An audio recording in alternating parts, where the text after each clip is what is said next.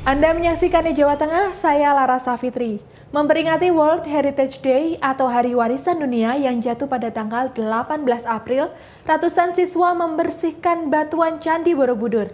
Selain agar lebih mencintai benda cagar budaya, aksi ini menjadi salah satu cara mengajak wisatawan untuk turut serta memelihara dan melestarikan salah satu ikon wisata Indonesia.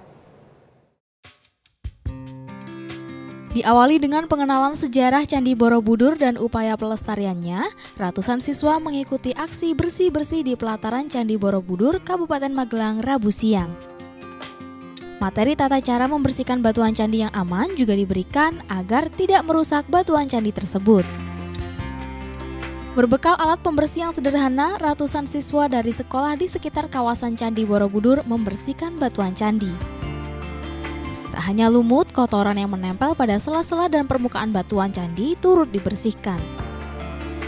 Ya, saya merasa senang bisa merawat dan menjaga candi ini karena ini termasuk warisan dunia.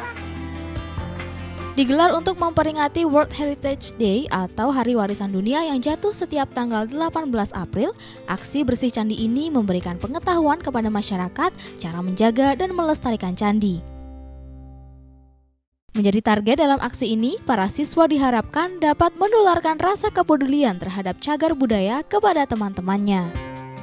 Dengan begitu diharapkan setelah tahu bahwa dia pembersihan itu memakan, eh, memerlukan ketelatenan dan kesabaran, mereka bisa memahami dan merasakan dan bisa menyebarkan kepada teman-temannya bahwa ternyata kita perlu menjaga kelestarian Candi Borobudur yang mempunyai nilai yang luar biasa itu. Meski terik panas matahari menyengat, para siswa ini antusias dalam membersihkan batuan candi. Tak hanya itu, kegiatan ini juga diharapkan dapat membangkitkan kesadaran para pengunjung dan juga warga sekitar untuk menjaga kelestarian cagar budaya. Widodo Setiawan melaporkan untuk NET.